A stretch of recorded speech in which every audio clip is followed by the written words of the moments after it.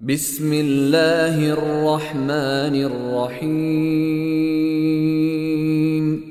سبح اسم ربك الأعلى الذي خلق فسوى والذي قدر فهدى والذي أخرج المرعى فجعله غثاء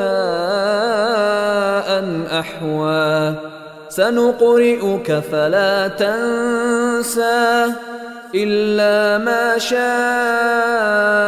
الله.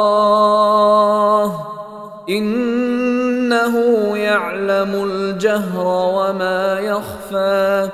ونيسرك لليسرى. فذكر إن نفعت الذكرى. سيذكر من يخشى ويتجنبها الأشقى الذي يصلى النار الكبرى ثم لا يموت فيها ولا يحيا.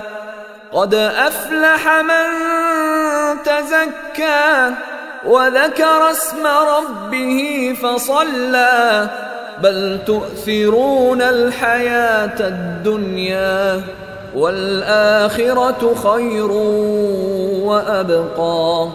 إن هذا لفي الصحف الأولى صحف إبراهيم وموسى.